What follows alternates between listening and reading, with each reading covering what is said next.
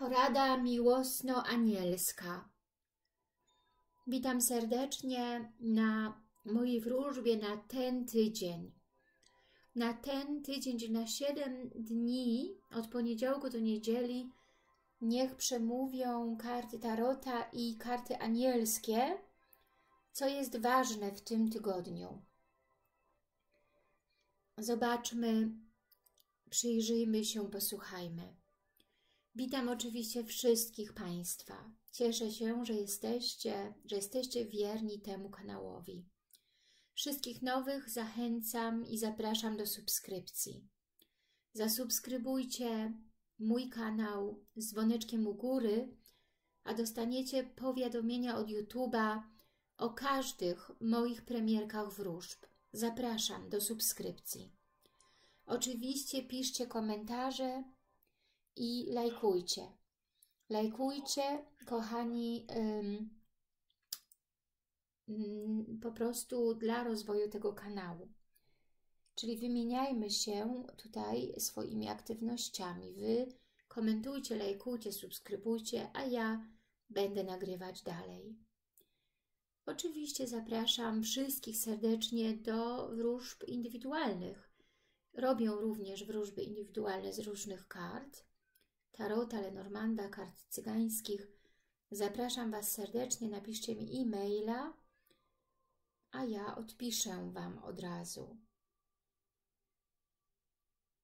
Mój adres e-mailowy znajdziecie oczywiście na moim kanale, w filmikach, pod filmikami i w komentarzach. Zapraszam. Dzisiaj mam trzy karty, które już wyciągnęłam i Zobaczmy, przyjrzyjmy się tym kartom na ten tydzień. Karta Tarota, karta anielska i klucz anielski. Pierwsza karta Tarota. Dziewięć buław. Dziewięć buław, kochani, to smutek. Smutek, troski, rozczarowanie, Dziewięć buław to rezygnacja, zmęczenie, że coś dobiegło lub dobiega końca. Dziewięć buław to załamanie, to ciężka karta, borykacie się z jakimś balastem. To karta smutna. Być może taki tydzień będzie smutny, Zobaczmy, co dopowiedzą karty anielskie. Wiosna. Twoje marzenia spełnią się, gdy rozkwitną kwiaty. Więc myślę, że te problemy, które macie, coś, co dobiega końca, coś, co Was smuci, rozstrzygną się, rozwiną do okresu wiosny. Czyli coś, co się, nie wiem, skończyło, zepsuło, wyjaśni się przez następne miesiące do okresu wiosny. Wyjaśnicie te troski, problemy.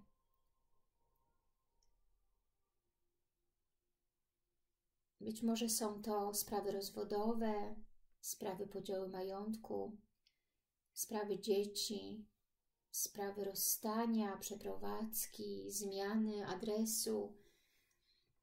Być może jest to jakiś kryzys w małżeństwie, w związku, gdzie się chcecie przeprowadzić, wyprowadzić.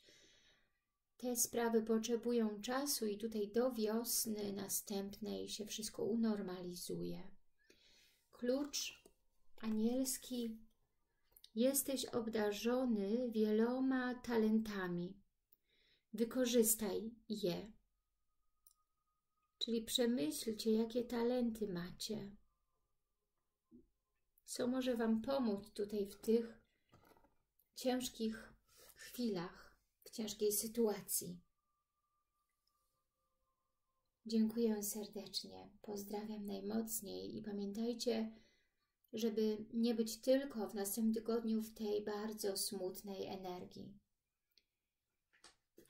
Nie bądźcie tak smutni, tylko wstańcie, pozbierajcie się i zacznijcie działać. Bądźcie aktywni. Nie rezygnujcie. Każdy koniec oznacza nowy początek. Zastanówcie się nad tym.